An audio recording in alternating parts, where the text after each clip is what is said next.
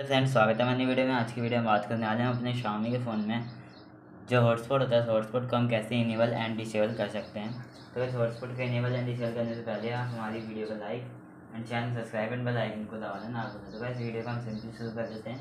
तो बस देखिए, सबसे पहले हमको क्या करना है, जो हमारे पास शामी फ़ोन है, जो शामी फ़ोन की मोबाइल सेटिंग्स होती है, उस सेटिंग्स को हमें ओपन कर है। तो सिंपली हम सेटिंग्स को ओपन कर लेते हैं।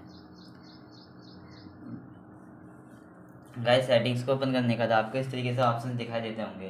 तो इस आपको क्या करना है यहाँ पे आपको सिंपली पोर्टेबल हॉटस्पॉट का ऑप्शन शो होता होगा।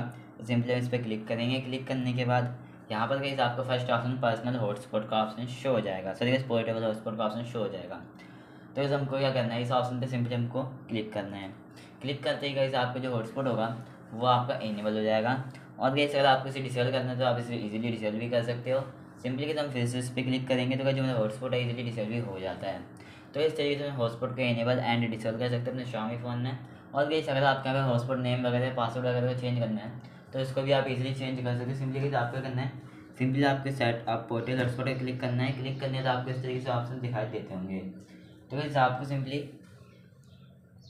जैसे यहाँ पे नेम चेंज करना सिंपली हम नेम पे क्लिक करेंगे। क्लिक करने के लिए इसको हम नेम को कट कर देंगे। कट करने के बाद गई यहाँ पर आपको कुछ इस तरीके से ऑप्शन दिखाई देंगे। तो आपके अंदर सिंपली आप जो भी नेम लिखना है वो आप लिख सकते हो। जैसे हमारे नेम अंकित है सिंपली हम अंकित लिख देते हैं। अंकित लिखने के बाद गई यहाँ पर आपका राइट ऑप्शन शो होता होगा। तो ये सिंपली हम राइट पे क्लिक करते हैं। राइट पे क्लिक करते ही आपका जो हॉटस्पॉट पास नेम है, वो भी आपके लिए चेंज हो जाएगा। तो यहीं तो हमारी वीडियो समाप्त है। अगर आपको हमारी वीडियो पसंद आती है वीडियो को लाइक एंड चैनल को सब्सक्राइब एंड बेल आइकन को दबाना ना भूलें। तो इस वीडियो को हम सिंपली समाप्त करते हैं। मिलते हैं अगली वीडियो में, तब तक के लिए बहुत बहुत धन्यवाद और बहुत बहुत thank you guys.